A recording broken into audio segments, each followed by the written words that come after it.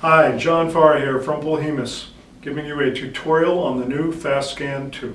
This is going to be a guide to all the different components and the actual setup and the operation. Inside the case, you have the wand, you have the system electronics unit, you have the interconnecting cable, for the wand to the system electronics unit. And you have the sensor.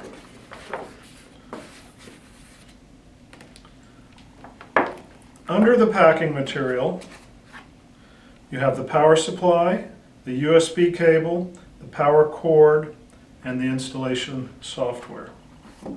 The scanner is easily connected in disconnected. It is connected to the SCU. The sensor is connected to the SCU.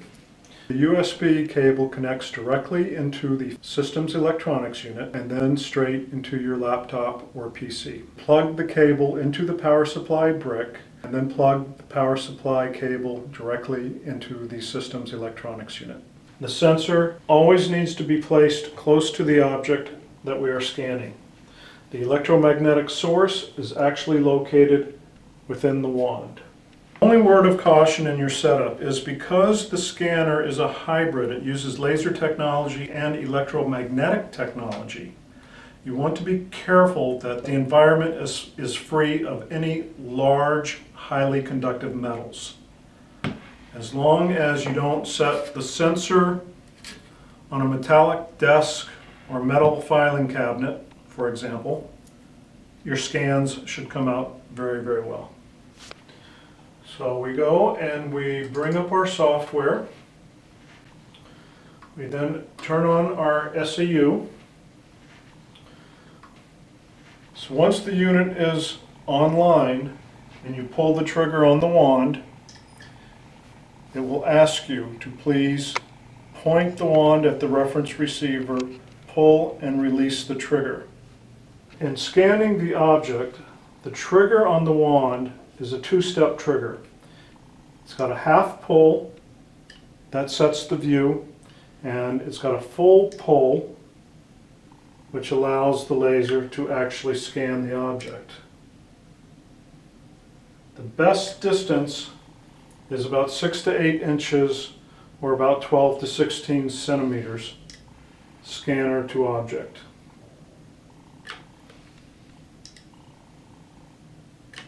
Once again, if I give it a half click, it changes my view. Half click, changes my view.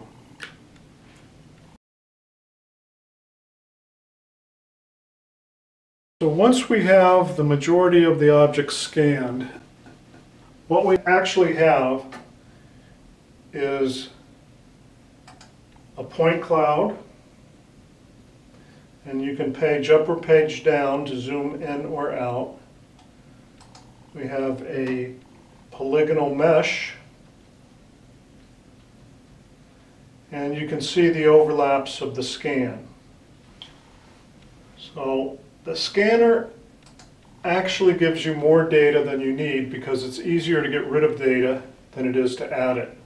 But the first thing we want to do is go to Edit and register our sweeps.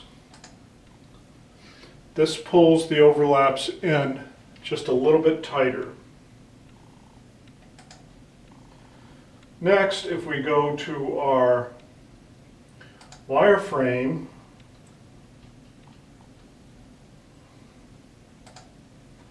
once again we can see all the overlaps here. So what we want to do is break it down to a one millimeter resolution. And what that did, it took out most of the overlaps and it simplified the mesh. And it brought us from 12,000 points down to 10,000 points, 24,000 polygons down to 20,000 polygons. So it did reduce it a little bit. If we click on our surface simplification, what this does is it tightens the polygons where the resolution is required and it loosens them where it is not required. And so your polygon mesh will look something like this, in which case the file is now 2200 points versus um, 12,000 points. But I am going to uh, not use that. So now we go back to our solid surface and we notice that we have some holes that need to be filled. At this point we go to our RBF and you have four options.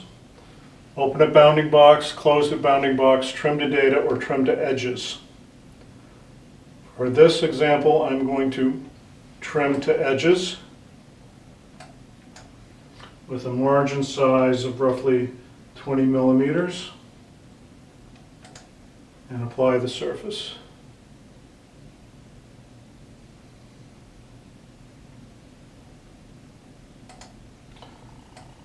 And as you can see, all the holes are nicely filled now. So we started with our basic sweeps. We then shrunk our file size and we then filled the holes.